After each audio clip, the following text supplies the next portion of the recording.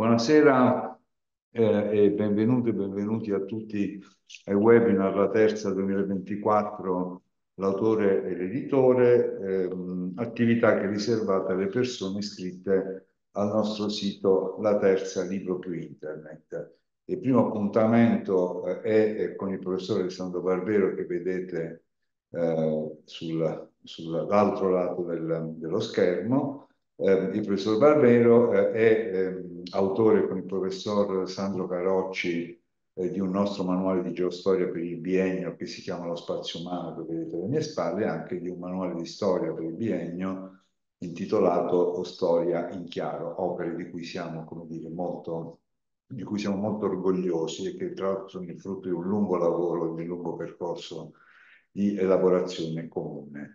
Eh, che tema abbiamo scelto per l'incontro di oggi? Armi, eserciti e soldati nel mondo greco-romano. La, la, traccia, se vogliamo, eh, è relativamente semplice da introdurre. Eh, il, il, tema è quali sono i grandi punti di svolta nel modo di fare la guerra dalle città-stato greco fino alla caduta dell'impero romano. L'obiettivo eh, è ehm, quello di far capire eh, anche eh, che la guerra ha una storia che è legata certamente a cambiamenti tecnologici, di armamenti per esempio, e anche di organizzazione del modo di fare, di fare, la guerra, ma è anche legata evidentemente a, quelli che sono gli assetti politici e sociali, a quelli che sono eh, le disponibilità di risorse economiche, quelli che sono diciamo, i progetti naturalmente eh, ai quali o in ragione dei quali le guerre eh, si sono combattute. Uh, con il professor Barbero, uh, preparando questo incontro, uh, abbiamo ipotizzato di articolarlo certamente in due tappe, e cioè come, è, come è cambiato il modo di fare la guerra nelle città stato greco-romane, e lo dico non casualmente perché anche Roma, certamente non solo istituzionalmente, ma oggettivamente per un lungo arco della sua storia, è una città-stato confrontabile per, per molti aspetti, una città-stato greca, e poi invece la dimensione della guerra in quelle che sono le grandi organizzazioni imperiali, certamente dall'impero, dall'impero macedone, ma poi ovviamente anche all'impero romano nella sua come dire, stagione, non vuol dire più evoluta perché mi sembra una parola poco appropriata, ma diciamo nella sua, nella sua stagione di maggiore, di maggiore, espansione nel bacino del Mediterraneo. Quindi Alessandro, eh, eh, volendo presentare questa materia molto complessa, e partendo, e partendo da, dalla dimensione della città-stato, quali sono le tappe fondamentali del modo di fare la guerra nel, nel, mondo delle città-stato greche e romane?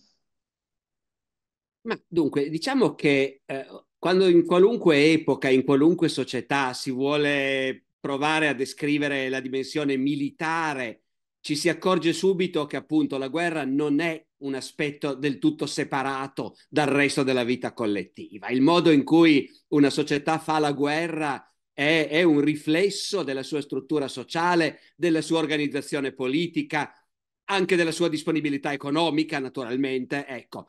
Quindi in realtà, come dire, parlare del, di un'evoluzione significa descrivere fasi diverse sostanzialmente, no?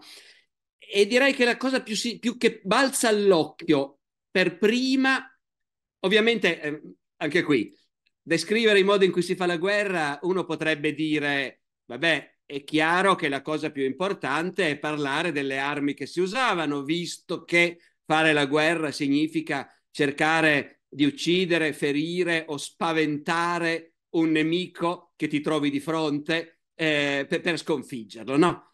ma naturalmente le armi le usano degli uomini e in realtà probabilmente il modo più importante per cominciare a far capire il rapporto fra la, il modo di fare la guerra e una società nel suo complesso è proprio andare a vedere chi fa la guerra.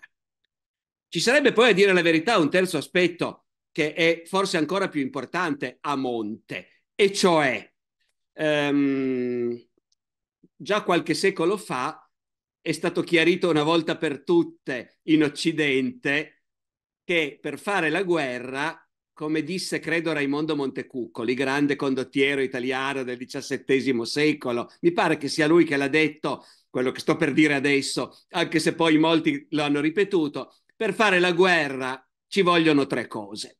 Denaro, denaro e denaro. E su questo, appunto, non esiste alcun dubbio, salvo che, forse per mia ignoranza, ma non credo solo per quello, sull'aspetto economico, finanziario, su quello che si spendeva per fare la guerra nel mondo greco o nel mondo romano, non mi sembra che siamo così ben informati, ecco, fondamentalmente.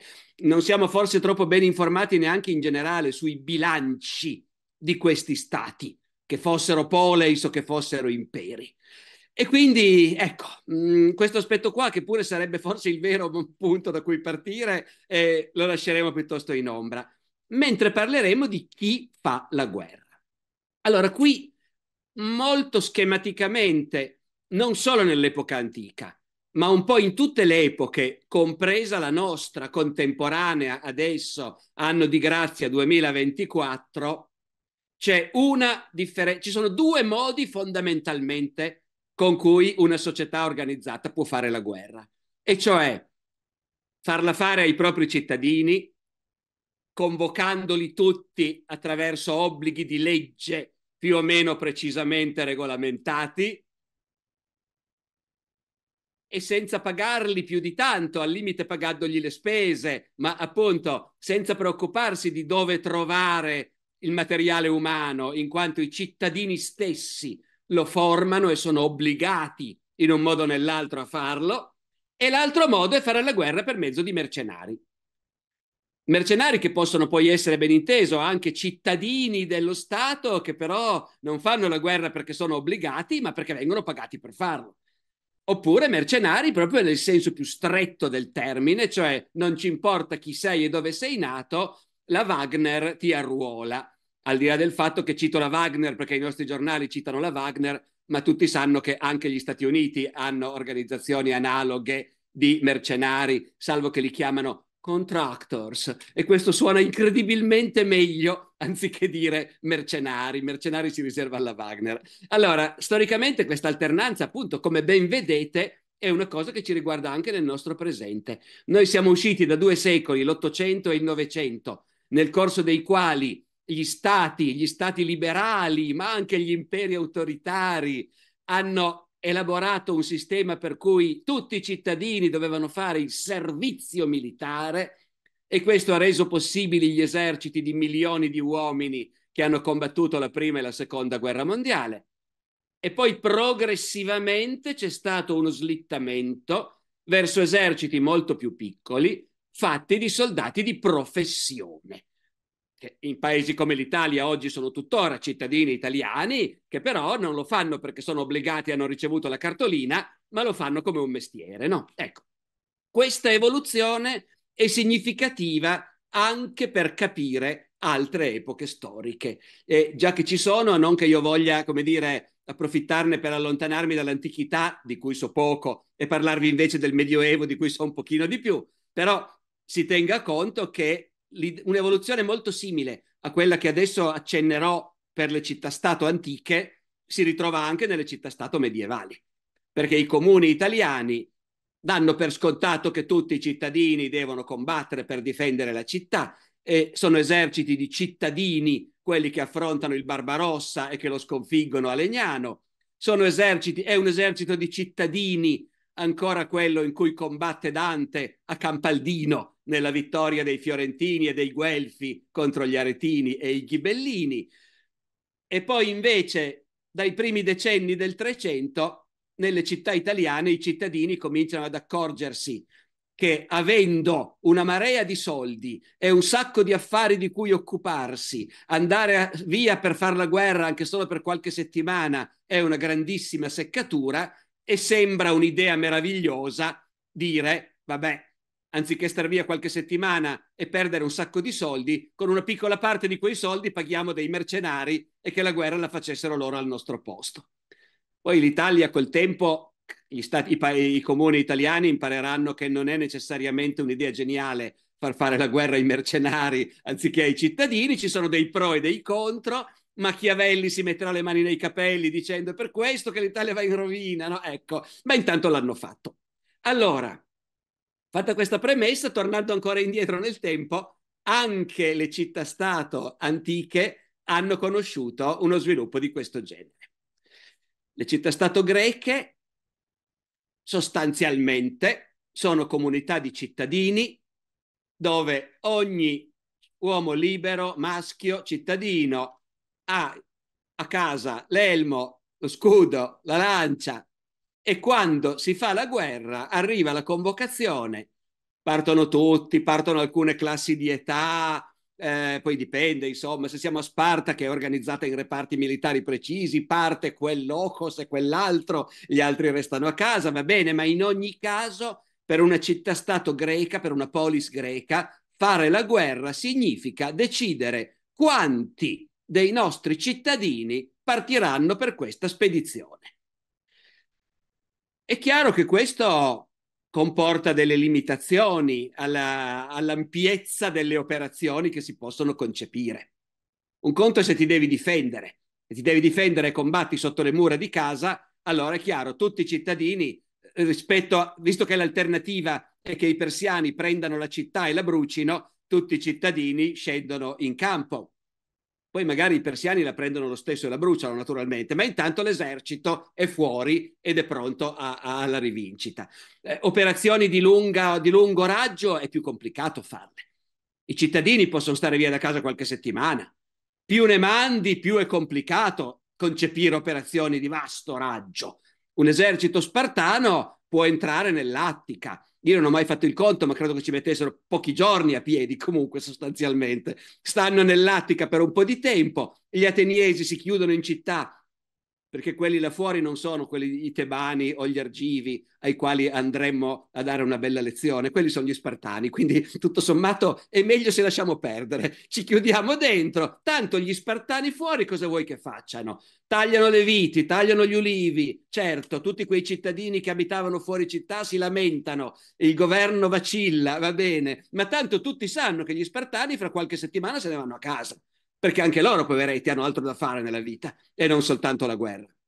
Benché gli spartani poi tendessero appunto invece a specializzarsi, però pure loro dovevano tornare a casa a un certo momento. Il massimo di ampiezza che una città-stato può immaginare con un esercito di cittadini mandato a intraprendere una campagna molto ambiziosa è giusto, come dire, la campagna di Atene contro Siracusa durante la guerra del Peloponneso, ecco mandare un esercito da Atene a Siracusa è un'impresa ambiziosissima, colossale, e quando va male, perché come ricordate tutti va a finire molto male, aver perso, non so più se 10.000 cittadini, 10 o 15.000 cittadini in quell'impresa, per Atene è una botta da cui non, non si riprenderà mai più veramente, a dire tutta la verità. No? Eh. Quindi, quindi appunto la guerra della città-stato che dispone di un esercito fatto di cittadini può avere un'ampiezza limitata. E Roma è la stessa cosa. Anche Roma è una polis, naturalmente, eh? non è greca, però il modello della città che si governa da sola, dove tutti gli abitanti maschi liberi sono cittadini, con una serie di istituzioni bene o male rappresentative e con un esercito formato dai cittadini stessi, eh, ovviamente eh, appunto è la polis greca, ma anche le polis etrusche o italiche erano la stessa cosa.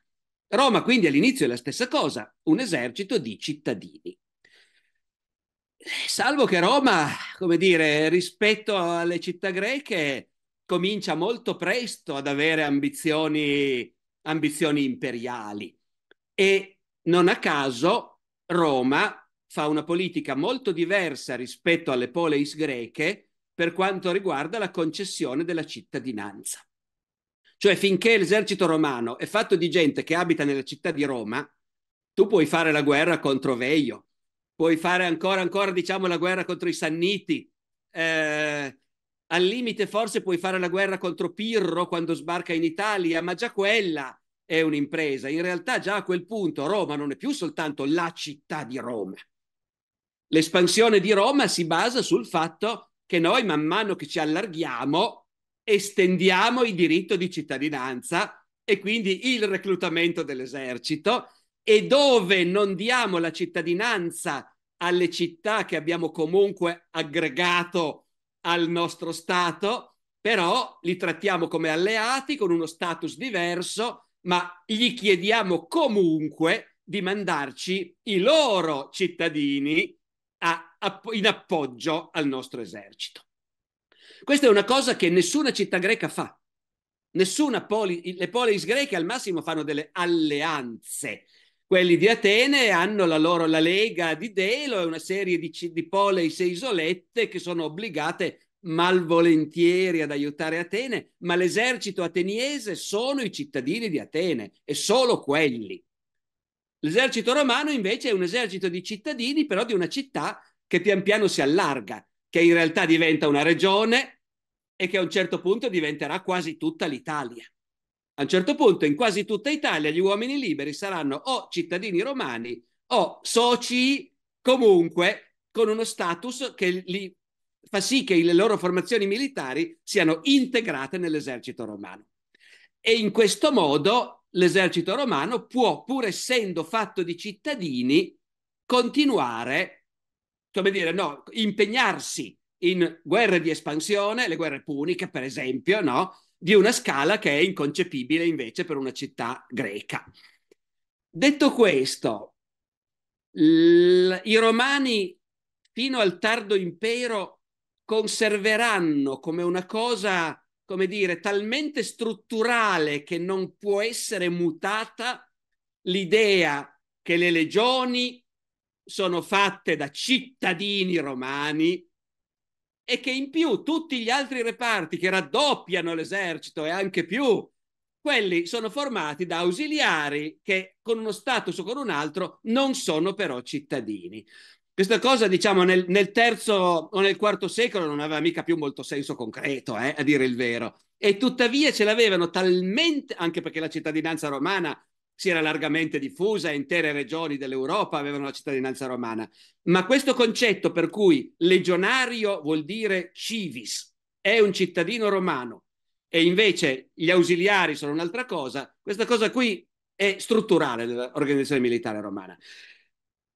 Questo punto però, Alessandro, se la sto facendo troppo lunga e hai altre 13 domande in lista d'attesa, dimmelo, eh, però, è...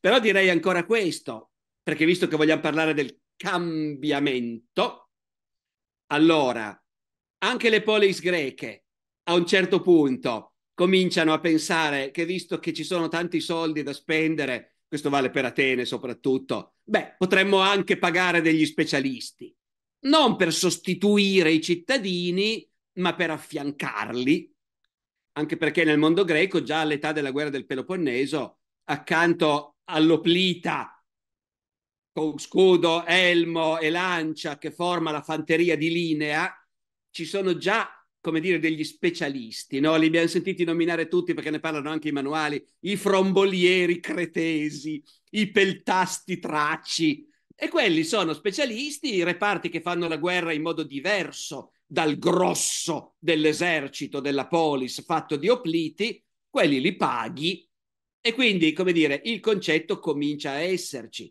Però in realtà la città-stato continuerà invece come base dell'esercito a contare sui cittadini. Diversamente dagli imperi, se poi parliamo di Alessandro e dei Macedoni, vedremo che le cose vanno diversamente. Roma, Roma farà una cosa un po' diversa, nel senso che a Roma per molto tempo si continuerà, come ho detto, a basare l'esercito sulla cittadinanza. Gli, opli, gli opliti, addio, i legionari di Mario e Silla o i legionari di Cesare e Pompeo sono cittadini, ma, ma è ormai chiaro che in una struttura sociale come quella non della metropoli Roma, ma dell'intera Italia, c'è un bacino di reclutamento che significa che tu non hai più bisogno di chiedere a tutti i cittadini per obbligo di andare in guerra. I cittadini ormai sono milioni. Non è come Sparta che già nel IV secolo di cittadini credo che ne abbia mille o duemila e quindi quando deve fare la guerra devono per forza andare tutti. Roma ha un bacino di reclutamento di cittadini immenso e quindi quando si fa la guerra a Roma, a partire da un certo momento, credo part- dopo le guerre puniche, sostanzialmente la guerra non vuol più dire che arriva un manifesto, un bando di reclutamento e la gente, anche se non ha nessuna voglia, deve andare. Si reclutano quelli che non hanno di meglio da fare nella vita. E in una struttura sociale come quella trovi sempre l'immigrato che ha perso il lavoro, il disoccupato, eh, il contadino che è andato in crisi, ha dovuto vendere la terra e quindi trovi facilmente una massa di, di persone che sono tecnicamente cittadini, ma proletari e che sono quindi disposti ad arruolarsi non per la guerra, ma per la vita sostanzialmente. Quindi lì abbiamo un ibrido, un esercito fatto sempre di cittadini, ma che in realtà è diventato un esercito di mestiere. Alessandro, prima di, eh, anche perché quel tempo corre, di ehm, eh, invece passare alla per così dire, dimensione eh, imperiale eh, del modo di fare la guerra, ci è arrivata una bellissima domanda, bella così piatta, che differenza c'è tra il modo di fare la guerra dei greci e dei romani, posto che ci sia naturalmente, però è, eh certo. radicale ma interessante. Naturalmente eh, vi rendete conto anche da quello che stiamo dicendo e da questa domanda che fare la guerra vuol dire tante cose diverse. Eh, perché io in realtà finora ho già parlato di una differenza nel modo di fare la guerra, perché un conto è se tu fai la guerra su uno spazio, in uno spazio geografico limitatissimo per difendere il tuo territorio o per andare a dar fastidio al tuo vicino, e un conto è se fai la guerra perché il Senato ha deciso di conquistare la Spagna. No, ecco, sono due modi diversi di fare la guerra, ma la domanda pensa al modo di combattere, sì. suppongo. Ecco, questo è importante dirlo perché il modo di combattere è al centro di tutto, ma non è tutto. Eh, noi ovviamente, quando pensiamo alla guerra, la nostra cultura ha elaborato certi parametri, tipo le grandi battaglie. No? Ecco, eh, da quando nell'Ottocento uno storico inglese ha scritto per la prima volta un libro intitolato tipo Le 20 battaglie decisive della storia del mondo, dove le battaglie decisive della storia del mondo ovviamente quali sono? Eh, Maratona, quando noi occidentali abbiamo sconfitto i malvagi orientali, no? ecco, eh, Azincourt, quando noi inglesi abbiamo sconfitto i vili francesi, Waterloo, stessa cosa, quando noi prodi inglesi abbiamo sconfitto quei cialtroni dei francesi. Eh, Lepanto, quando noi occidentali cristiani abbiamo sconfitto i malvagi musulmani orientali. Poitiers, quando noi cristiani occidentali abbiamo sconfitto i malvagi arabi orientali. Eh, come vedete non c'è niente di ideologico in queste concezioni delle battaglie decisive della storia, no? Però appunto noi siamo cresciuti con questa idea, le battaglie decisive, i grandi generali e i grandi generali della storia per noi chi sono? Pensiamo a quelli della seconda guerra mondiale che magari ce li ricordiamo ancora un po' meglio se uno dice i grandi generali della seconda guerra mondiale, a uno può venire in mente, che ne so, Rommel, la volpe del deserto. Rommel fu celeberrimo già al, all'epoca quando comandava due divisioni, una forza minima, su un teatro del tutto secondario, ma era uno di quei generali brillantissimi, col colpo d'occhio, che vincono battaglie in condizioni apparentemente disperate. Famosissimo. Grande generale. Eisenhower che per qualche anno ha comandato la più grande forza militare della storia, multinazionale, operativa su un arco di diversi continenti, con una capacità organizzativa e logistica e politica enorme.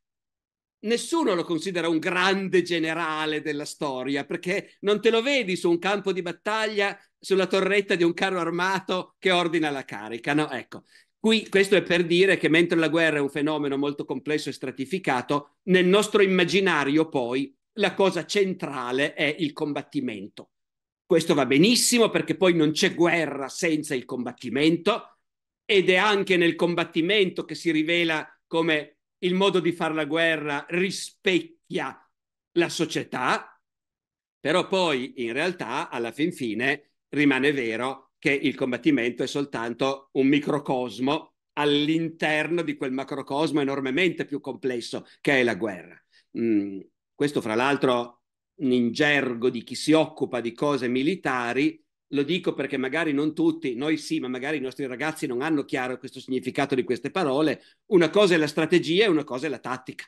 La strategia riguarda appunto l'organizzazione di una campagna militare, gli obiettivi da raggiungere, i movimenti di grandi masse di truppe nell'arco di settimane, di mesi, di anni.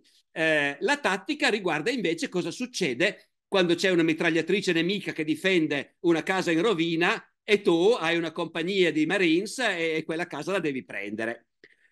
Allora, come si combattevano in antichità e che differenza c'è fra i greci e i romani?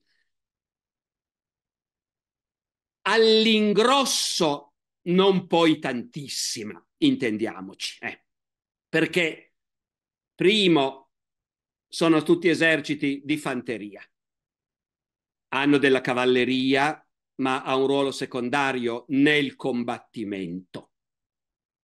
Magari mi fermo un attimo su questo perché anche questo è molto significativo. Eh, nessun esercito poteva cavarsela senza cavalleria, ma non perché la cavalleria la usi in battaglia, in battaglia non la usi.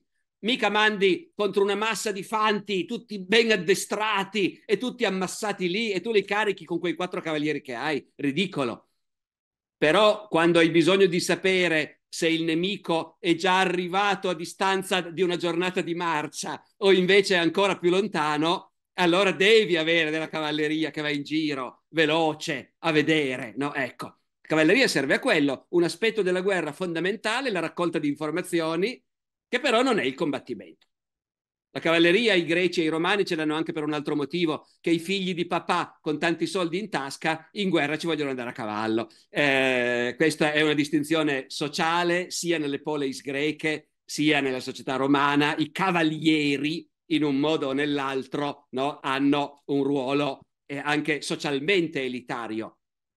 E qui vi ricordo per chi si occupa di cose greche, c'è addirittura una commedia di Aristofane che si intitola I Cavalieri, no? Ecco, che per un ateniese capiva subito cosa voleva dire. I figli di papà, i ricchi, i giovani ricchi. Allora, l'esercito che combatte è fatto di fanteria. Ci sono arcieri, frombolieri con le fionde, roba del genere, macchine da guerra, sì, ci sono perché non si rinuncia a niente, ma non hanno un'importanza centrale. E questa è di nuovo una cosa che per noi è difficile immaginare perché noi abbiamo interiorizzato in modo così totale, dopo l'invenzione delle armi da fuoco, che la guerra si fa sparando a un nemico lontano, che fatichiamo, cioè fatichiamo, io no, però gli sceneggiatori di Hollywood sì invece, faticano a immaginare cos'è una battaglia in cui eh, l'essenziale non è sparare lontano. Ecco perché quando nel gladiatore, nel film del gladiatore, si raffigura la battaglia iniziale, ed è una raffigurazione sotto certi aspetti molto ben fatta e credibile, però non riescono a rinunciare all'idea che la battaglia comincia con le catapulte che scagliano no? eh, palle di fuoco nei ranghi del nemico. Le catapulte servivano per assediare le città si muovevano più lentamente di una vecchietta col bastone, eh, si portavano dietro carri carichi di pietroni, venivano portate in giro smontate e le montavi sotto le mura della città con l'idea fra una settimana cominciamo l'attacco. In battaglia non le usavi. Usavi appunto un po' gli arcieri, va bene, sperando che qualche nemico ci rimanesse un po' eh, rallentato nei movimenti perché aveva troppe frecce piantate nello scudo e poi fine quella non è la battaglia. La battaglia è noi tutti insieme che andiamo avanti. Forse no, noi stiamo fermi ad aspettare, vediamo se vengono avanti quelli là. Si può rimanere anche per un bel po' a guardarsi a una certa distanza, facendosi gestacci, insultandosi, eh, dicendo vieni avanti, sai coraggio. Questa cosa può essere addirittura organizzata. I legionari romani a un certo punto cominciano a battere le lance contro lo scudo, i giavellotti contro lo scudo, producendo un rumore, un boato di fondo che serve a spaventare il nemico. Altri eserciti, i parti, hanno questi tamburi, questi timpani che battono ossessivamente sono tutti fermi e si guardano.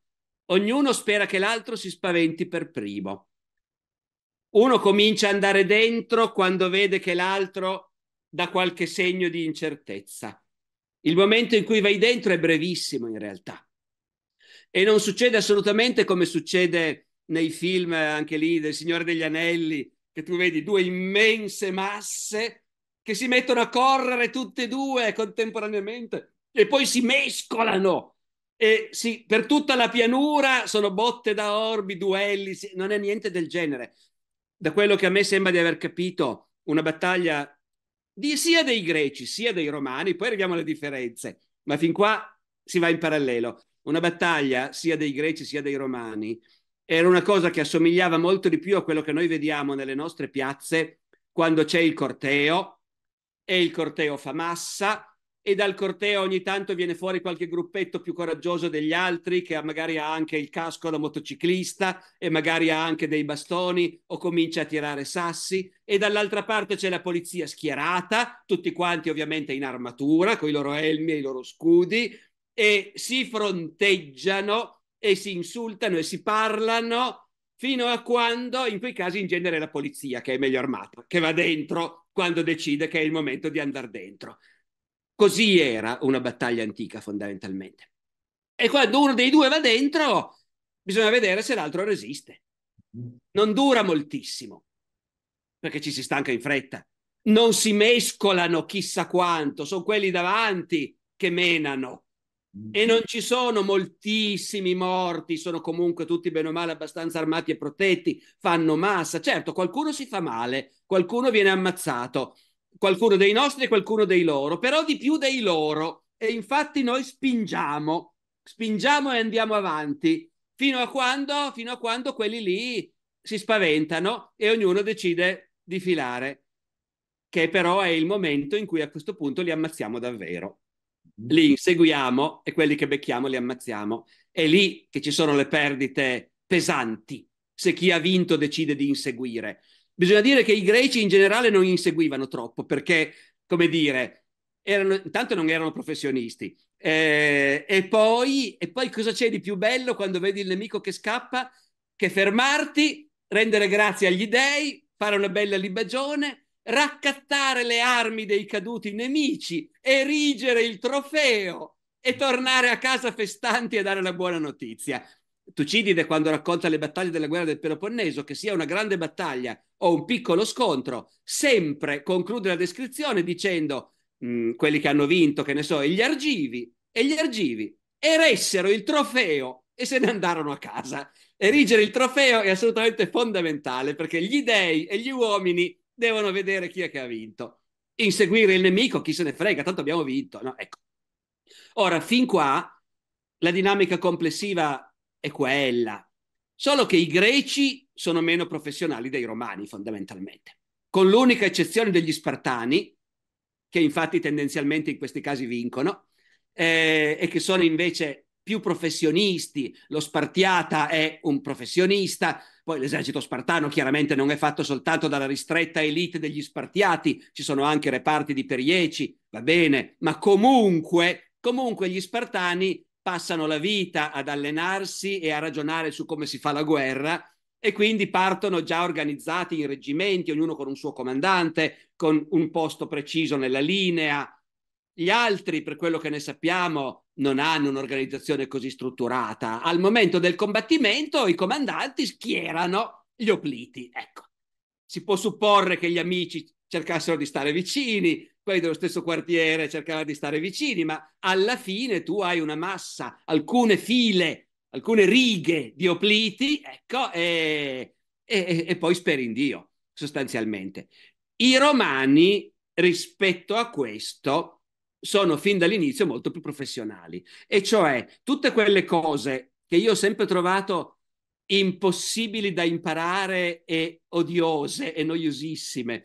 Tutti quei grafici che abbiamo sui nostri manuali, e cioè avete presente, no? Gli astati, i principes, i manipoli, le corti, tutti quegli schemini vogliono però dire una cosa concreta, e cioè che i romani, quando schieravano le truppe, avevano uno schema in testa che ogni soldato, pure se anche nella fase iniziale in cui il legionario era un cittadino partito da casa pochi giorni prima, però aveva il suo posto, sapeva a che manipolo, a che coorte, a che legione apparteneva, sapeva chi era il suo centurione, sapeva se doveva stare in prima fila o in seconda o in terza e questo garantiva indubbiamente una, una flessibilità maggiore, un maggior controllo dei comandanti su quello che facevano le truppe, perché capite, anche se in realtà le truppe rimangono sempre abbastanza staccate dal nemico, tranne nel momento dello scontro vero, però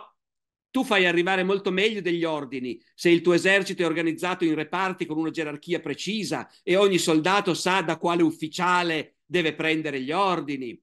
E anche così era difficile.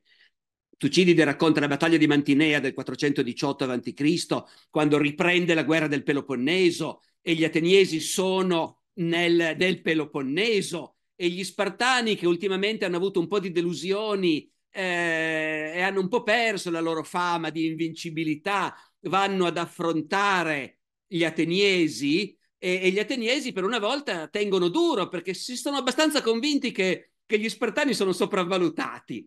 E il comandante spartano, che credo sia il re Agide, decide di provare una manovra di far spostare due dei reggimenti dei locoi della sua linea in modo da rafforzarsi in un altro settore. Già che abbia tentato questo e che Tucidide lo racconti è una cosa abbastanza eccezionale. Un comandante greco in genere non è in grado di fare delle manovre di questo tipo. E in realtà non è in grado neanche il re spartano perché il movimento si rivela pasticciato. I due reggimenti non sanno più dove devono andare e per un attimo sembra che vada tutto malissimo. Dopodiché però a quel punto gli spartani risolvono tutto perché comunque fanno suonare i flauti, vanno avanti lo stesso anche in, con questo disordine e e gli ateniesi a quel punto si prendono, si prendono paura e non osano, perché vedersi venire addosso gli spartani comunque eh, è superiore alla resistenza umana restare lì. Ecco. Eh, i, I, romani invece manovrano, ecco, questo lo posso dire, manovrano professionalmente. Eh, Alessandro, siccome stiamo, diciamo, con tempi molto stretti, riusciamo a, a focalizzare invece l'attenzione sulla dimensione altra che abbiamo evocato, cioè quella della guerra degli imperi, in parte l'abbiamo parlando di Roma, l'abbiamo toccata, ma insomma che cosa cambia e, e quali, quali, quali, sono i meccanismi che cambiano e quali sono, per così dire, eh, la, la, l'assetto e l'aspetto che prendono di fare la guerra. Certo, allora, beh, dunque, fondamentalmente, anche se nessuno ovviamente all'epoca dice, vabbè, questo qua è un impero quindi facciamo le cose diversamente. Eh, bene o male si parte sempre dalle stesse realtà concrete, il combattimento è quello, ma l'impero tipicamente deve prevedere di pagare i soldati e di avere o dei professionisti a lunga ferma o dei mercenari assunti per l'occasione. Quando Alessandro Magno invade la Persia, cioè fa qualcosa che nessuna polis greca da sola avrebbe potuto fare, però ha dei robusti contingenti di opliti greci che vengono dalle varie città greche ed è una novità, è, un, è il frutto delle lunghe guerre. Già durante la guerra del Peloponneso, che per la prima volta impegna le poleis greche in una guerra che dura molti anni, una cosa che prima era inconcepibile, le guerre duravano un'estate. Invece la guerra del Peloponneso ogni estate ricomincia e alla fine sarà durata decenni. E quindi in tutte le città ci sono uomini che hanno, si sono abituati a fare la guerra e sono ormai più abituati a fare la guerra che non a vivere in città in tempo di pace. Poi in tutte le città ci sono uomini che sono caduti in disgrazia, condannati che sono scappati, latitanti, gente politicamente inaffidabile che è stata mandata via. E tutta questa gente cosa può fare? Beh, molti di loro hanno imparato a fare la guerra. E quindi, quindi Alessandro non fa fatica a trovare mercenari greci, i quali vengono da città che magari fino a un attimo prima si sono fatte la guerra fra loro, ma adesso invece, adesso invece sono tutti insieme. E questo appunto comincia alla fine della guerra del Peloponneso, comincia già all'epoca di Senofonte. Senofonte è già quello, no? Senofonte è un ateniese che fa, sa fare la guerra E quando viene a sapere che il principe persiano Ciro sta reclutando un esercito perché vuole sconfiggere suo fratello e prendere il potere nell'impero persiano, Senofonte fa due conti, si informa di quant'è lo stipendio e ci va. E nella fanteria greca al servizio di Ciro incontra degli Spartani, per esempio, Clearco, con i quali diventa amicissimo, perché in quel momento non importa che uno è ateniese e l'altro è spartano, siamo tutti greci mercenari al servizio dei persiani e faremo vedere a questi persiani chi siamo noi greci. Gliel'abbiamo fatto vedere ai vecchi tempi di Maratona delle Termopili, gliela faremo vedere anche adesso, anche adesso che è un persiano che ci paga. No, ecco. Quindi, mercenari sostanzialmente, il che vuole anche dire una crescente multietnicità dell'esercito. L'esercito di Alessandro è ancora tutto sommato abbastanza un esercito greco, oltre che macedone, e naturalmente, come sapete, se i macedoni fossero greci è una grande questione. I macedoni dicevano di sì e gli altri greci dicevano di no, ma comunque. Eh, ma già i diadochi, i generali di Alessandro, che poi diventano faraoni dell'Egitto, i Tolomei, re di Siria, i Seleucidi, re di Pergamo, gli Attalidi, che si ricavano questi grandi regni in un Oriente che è grecizzato, sì, nelle elite e nelle aristocrazie cittadine, ma che poi ha la sua popolazione locale, naturalmente, no? Ecco, quindi gli eserciti di questi grandi regni sono da, appunto, eserciti assolutamente multietnici. Il massimo del multietnico però sarà l'impero romano, perché l'impero romano, primo, è diventato un impero occupando immensi territori, sottomettendo gli abitanti di quei territori, dopodiché gli indigeni della Gallia o della Spagna, prima di diventare cittadini romani ci vorrà molto tempo, ma già da indigeni vengono reclutati, già da indigeni si reclutano reggimenti, di nuovo appunto come dicevo prima, mai legioni, le legioni solo fra i cittadini, ma fra gli indigeni reclutiamo i reparti ausiliari. E quindi non c'è nessun problema ad avere cavalleria fatta da Galli eh, o da Germani addirittura, a quel punto, una volta che ti abitui all'idea che puoi reclutare gli indigeni che hai dentro l'impero, anche se questi indigeni sono abbastanza barbari, tutto sommato, però noi li reclutiamo lo stesso. E allora a quel punto chi ti impedisce di reclutare anche degli altri barbari che semplicemente non sono indigeni nostri, non vivono dentro l'impero, vivono fuori, ma per il resto come dire, che differenza fa? Barbari gli uni, barbari gli altri. Già al tempo di Augusto l'esercito romano dispone di reparti ausiliari, come dire, reclutati fra gente che è fatta di barbari a tutti gli effetti. Poi i capi di questi barbari diventano cittadini romani, fanno carriera nell'esercito romano, per lo più restano fedeli, qualcuno tradisce. Pensa ad Arminio, Pensate, scusatemi, pensate ad Arminio, che noi pensiamo come al capo della grande rivolta germanica che vince la battaglia di Teutoburgo annientando le tre legioni di Varo e stoppando l'espansione di Augusto verso la Germania. Arminio, a cui in Germania ai tempi del Kaiser Guglielmo costruivano meravigliosi monumenti in cui lo vedevi con l'elmo cornuto da barbaro per l'appunto, no? Ora, Arminio si chiamava Caio Giulio Arminio era cittadino romano, cavaliere romano, comandante di un reparto dell'esercito romano. Però il reparto era reclutato nella sua tribù, i Cheruschi, quindi barbari germani col loro capo. Il capo però è diventato un ufficiale romano, naturalmente. E questa multietnicità è tanto maggiore in quanto l'impero romano ovviamente si espande anche a Oriente. E quindi reggimenti di cavalleria, di arcieri a cavallo siriani, supponiamo, no? O di cavalleria araba e anche saracena, cioè reclutata fra i beduini del deserto. Nell'esercito romano c'è assolutamente di tutto. Eh, e questi reggimenti vengono reclutati in un posto e poi magari sbattuti a 2000 km di distanza. Per cui in un castrum sul Reno i nostri archeologi poi trovano l'altare votivo di un dio arabo a cui il reggimento arabo che è stato sbattuto lì a Treviri continua a praticare i suoi sacrifici.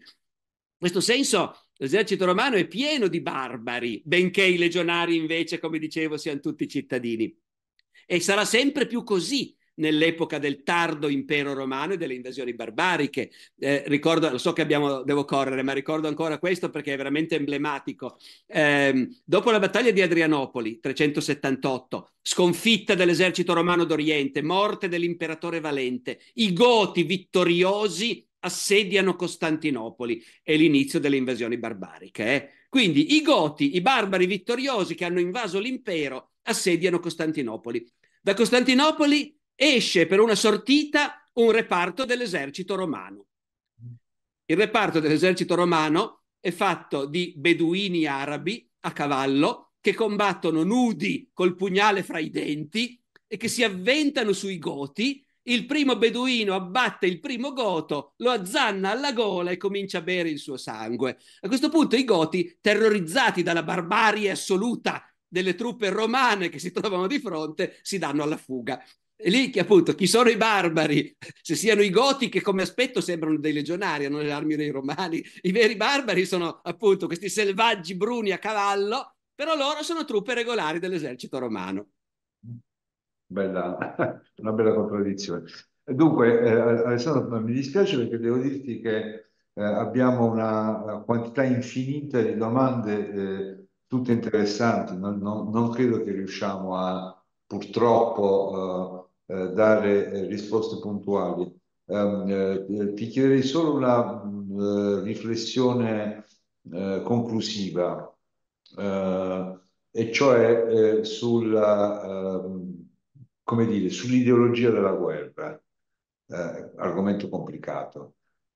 sto pensando, lo ammetto, soprattutto a, ehm, penso soprattutto a Roma, ma è chiaro che si può andare anche indietro nel tempo in particolar modo eh, penso al, al, al, concetto molto romano di guerra giusta eh, da un lato, e quindi il fatto che tu fai guerra perché bene o male, per così dire, eh, hai delle ragioni che ti sostengono che ti autorizzano o addirittura ti obbligano a muovere guerra, come anche il, eh, l'ambiguo, quanto cereberrimo detto, eh, se, eh, se, vuoi la pace prepara la guerra, altra come dire formula che è stata variamente riprodotta nel tempo fino a, tempi, fino a tempi recenti e che si presta ovviamente anch'essa a molte, a molte ambiguità. Eh, tu come diciamo non descriveresti, ma come dire, come rappresenteresti questa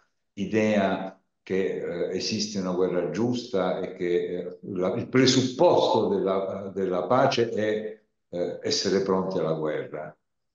Eh, allora, beh, questa è una domanda importantissima, infatti sono contento di rispondere a questa e mi scuso con tutti gli altri eh, che ci ascoltano e che ne hanno po- poste altre altrettanto interessanti, ma questa veramente merita, anche perché il modo in cui una società concepisce la guerra, si rapporta con la guerra, è una cosa estremamente significativa, secondo me. E qui mi permetto anche qui di fare un piccolo allargamento al presente. Noi oggi in Occidente, dopo le tragedie del Novecento, abbiamo elaborato in modo molto approfondito un ripudio della guerra, per citare la nostra Costituzione, che fino a qualche anno fa poteva sembrare essere penetrato davvero in profondità. Ma in realtà noi in Occidente però veniamo da una civiltà che invece la guerra l'ha sempre considerata come una necessità e come una cosa che si fa quando ce n'è bisogno senza fare troppe storie. Noi siamo, la nostra è una cultura che quando decide che un personaggio storico merita di essere chiamato Magno o il Grande, di solito si tratta di un generale. Eh, d'accordo? Che sia Alessandro Magno, che sia Carlo Magno, che sia Federico il Grande. Allora, eh, grandi guerre, grandi vittorie, grandi conquiste sono nel nostro DNA. Ammirazione per i militari di successo fa parte storicamente del DNA della società occidentale, del modo in cui noi consideriamo la storia. Lo dico perché, anche se non ne so niente, però mi sembra di aver sentito dire che la civiltà cinese, per esempio, non è esattamente in sintonia con questo atteggiamento. La civiltà cinese, cioè la civiltà di un popolo che mangia con le bacchette perché mettere in tavola fra persone civili una cosa tagliente è veramente una roba da barbari, ecco. La civiltà cinese credo che abbia sempre fatto la guerra quando ce n'era bisogno, ma che abbia sviluppato molto meno, benché poi oggi in Occidente tutti legano Sun Tzu, l'arte della guerra, credo che la civiltà cinese abbia sviluppato meno della nostra, l'ammirazione per i militari, lo status sociale elevato riconosciuto ai militari e così via. Ma è una provocazione che butto lì perché ne so veramente troppo poco. Nell'antichità, secondo me, c'è su questo un atteggiamento contraddittorio, mi verrebbe da dire. In che senso? In prima battuta mi verrebbe da dire che i romani, ma anche i greci, non erano schifiltosi per niente e non c'era niente nelle loro civiltà che assomigliasse al pacifismo nostro.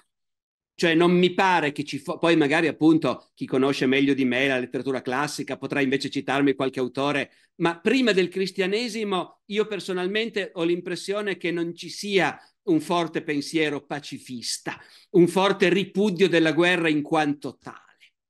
Direi ancora di più che ah, tanto più nell'epoca in cui la guerra la facevano i cittadini, la guerra era una parte comune dell'esistenza in un modo che noi oggi fatichiamo a immaginare. Eh, un esempio che mi viene in mente spesso è che noi abbiamo ben chiara la figura di Socrate che ammiriamo in genere enormemente. E se uno di noi dovesse immaginarsi Socrate in una qualche situazione, lo immaginerebbe che va al simposio, per l'appunto, no? Ecco, o che passeggia lungo l'Ilisso chiacchierando con i suoi discepoli. Ma Socrate è stato in guerra, molte volte nell'arco della sua vita e Platone ne parla, ne parla e come. Quelli che conoscevano Socrate gli viene naturale ricordarselo. Ti lo ricordi durante la ritirata da Anfipoli? Mi ha salvato la vita lui in quel momento, che gli Spartani, tanto per cambiare, ci avevano sconfitti e ci inseguivano e lui si ritirava calmo guardando verso il nemico e si sa che quelli che inseguono, se vedono uno che fa la faccia feroce, vanno a inseguire qualcun altro normalmente. No? Ecco, Socrate oplita in armatura al campo, per noi credo che sia un'immagine poco comune, era ovvia e banale invece per chi l'aveva conosciuto. Detto questo però, tutta la faccenda del Bellum Justum di cui tu parlavi, secondo me invece testimonia una, una contraddizione cioè testimonia una consapevolezza profonda, magari rinnegata, magari nascosta, magari imbarazzante, che però la guerra mm, non può essere soltanto il fatto che io sono forte, ti attacco e, e ti sconfiggo. Poi i romani lo fanno, eh, sia ben chiaro, ma sentono il bisogno di costruire un meccanismo che garantisca a loro che quando gli dei ci guardano non potranno arrabbiarsi perché abbiamo fatto questa guerra, perché l'abbiamo fatta secondo tutte le regole.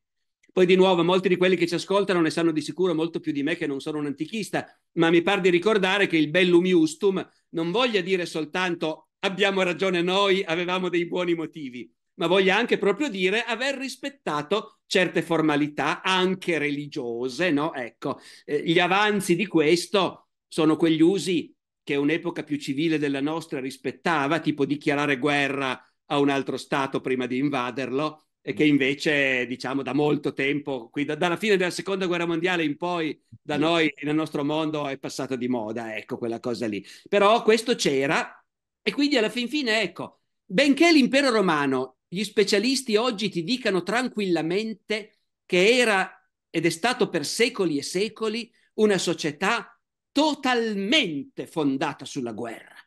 Mm-hmm. Giano Canfora ha scritto di recente un libretto molto bello sulla guerra in Grecia e a Roma, ripetendo proprio questo concetto, non solo Roma, secondo lui anche Atene in realtà, eh? la guerra navale, l'espansione marittima, ecco, ma per l'impero romano è una cosa che hanno già detto tanti altri, è proprio indiscutibile. L'intera economia di quel mondo si basa sulle guerre di conquista. Sono le guerre di conquista che fanno l'immensa ricchezza della classe dirigente e sono le guerre di conquista che forniscono i milioni di schiavi sui quali si regge l'economia romana. Ecco. E quindi è un impero dove la guerra è centrale, fondamentale. L'esercito è fondamentale. Sotto l'impero lo diventerà sempre di più. Sotto l'impero a un certo punto diventa una finzione che è il Senato che nomina l'imperatore. Non è vero niente. Lo sanno tutti che è l'esercito che nomina l'imperatore. E tuttavia dentro quella società c'è l'ansia, appunto, di circondare la guerra di forme che ci garantiscano che la possiamo fare con la coscienza pulita. E poi, e chiudo, arriveranno i cristiani, che sono romani anche loro, che sono lì fin dall'inizio, già dai, dal tempo dei primi imperatori ci sono i cristiani, arriveranno i cristiani e per un po' di tempo diranno no, la guerra non si può fare per nulla. Eh, il soldato non si può fare.